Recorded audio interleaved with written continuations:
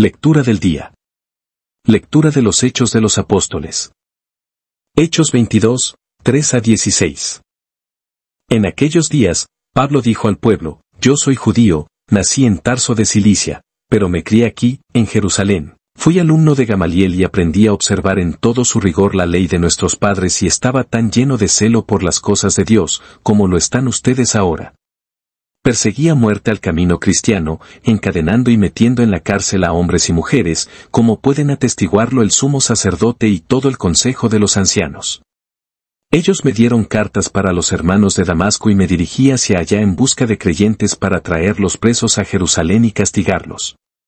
Pero en el camino, cerca ya de Damasco, a eso del mediodía, de repente me envolvió una gran luz venida del cielo, caí por tierra y oí una voz que me decía, Saulo, Saulo, ¿por qué me persigues? Yo le respondí, Señor, ¿quién eres tú? Él me contestó, Yo soy Jesús de Nazaret, a quien tú persigues. Los que me acompañaban vieron la luz, pero no oyeron la voz del que me hablaba.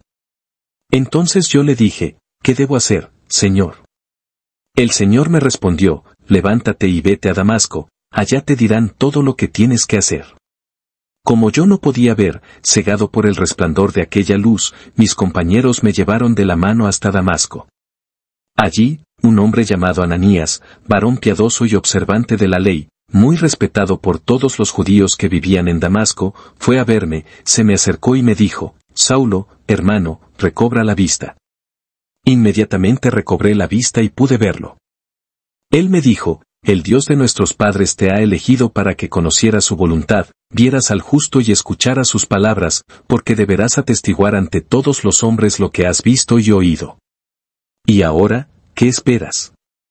Levántate, recibe el bautismo, reconoce que Jesús es el Señor y queda limpio de tus pecados. Evangelio del Día. Lectura del Santo Evangelio según San Marcos. Marcos 16, 15 a 18. En aquel tiempo, se apareció Jesús a los once y les dijo, Vayan por todo el mundo y prediquen el Evangelio a toda criatura. El que crea y se bautice, se salvará, el que se resista a creer, será condenado. Estos son los milagros que acompañarán a los que hayan creído, arrojarán demonios en mi nombre, hablarán lenguas nuevas, cogerán serpientes en sus manos, y si beben un veneno mortal, no les hará daño, impondrán las manos a los enfermos y éstos quedarán sanos. Palabra del Señor. Reflexión. San Pablo, que en hebreo era conocido como Saulo de Tarso, fue un devoto fariseo judío que defendió vigorosamente la ley. Después de la ascensión de Jesús al cielo, la recién descubierta fe cristiana comenzó a crecer rápidamente. Como resultado, Saulo de Tarso intentó enérgicamente poner fin a esta nueva religión que percibía como errónea viajó en busca de seguidores de Jesús para arrestarlos y encarcelarlos. Saulo incluso dio su consentimiento para la lapidación del diácono San Esteban, primer mártir. Sin embargo, en uno de sus viajes, Saulo tuvo una visión de Cristo resucitado que le habló dulcemente y le dijo, Saulo, Saulo, ¿por qué me persigues? Hechos 9:4. Fue en ese encuentro que Saúl quedó ciego por tres días. La línea citada anteriormente son palabras de Ananías, un devoto discípulo de Jesús. Ananías también había recibido una visión de Jesús que le decía que fuera a Saulo de Tarso y le impusiera las manos para que sanara. A Ananías también se le dijo que Saulo era un instrumento elegido a través del cual se predicaría el Evangelio a los gentiles, reyes e hijos de Israel. Aunque hay muchos aspectos fascinantes en la historia de San Pablo y su conversión, también es inspirador reflexionar sobre la forma en que Dios lo convirtió por primera vez. Jesús no fue duro con Saulo. No estaba condenando. En cambio, vio la bondad y el vigor de Saúl y supo que respondería si se le diera la oportunidad. Aunque Jesús usó la poderosa acción de dejarlo ciego, lo hizo porque vio mucho potencial para el bien dentro de Saulo. Esta misma verdad se aplica a nuestras vidas.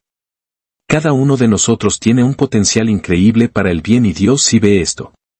Dios es consciente de todo lo que puede hacer con nosotros y busca atraernos a su misión de compartir el Evangelio con los necesitados. La pregunta a reflexionar es si has respondido o no a las formas en que Dios te ha hablado y te ha invitado a servirle con tu vida. El encuentro de Saulo con Jesús fue poderoso y transformador no solo porque estaba cegado por esta visión, fue poderoso y transformador, ante todo, porque Saulo quería servir a Dios pero estaba tratando de hacerlo de manera errónea. Y una vez corregido ese error, Saulo respondió de manera inmediata y completa. Como resultado, Saulo se convirtió en uno de los más grandes evangelistas de la historia de la Iglesia. Reflexiona hoy sobre el deseo en el corazón de Jesús de invitarte a su misión. Aunque no seas consciente de las muchas maneras en que Dios puede utilizarte, Jesús lo sabe plenamente. Él ve todos tus dones y sabe a quién quiere atraer hacia sí a través de ti. Dile sí este día y hazlo con cada fibra de tu alma. Hacerlo permitirá que Dios haga grandes cosas a través de ti. Señor, te amo y deseo ser usado por ti en la forma que tú elijas. Ayúdame a convertir mi corazón más plenamente a ti para que pueda ser guiado por tu mano gentil y poderosa. Acepto cualquier misión que me des y oro para que mi vida te dé verdadera gloria y promueva tu glorioso reino en la tierra. Jesús, en ti confío.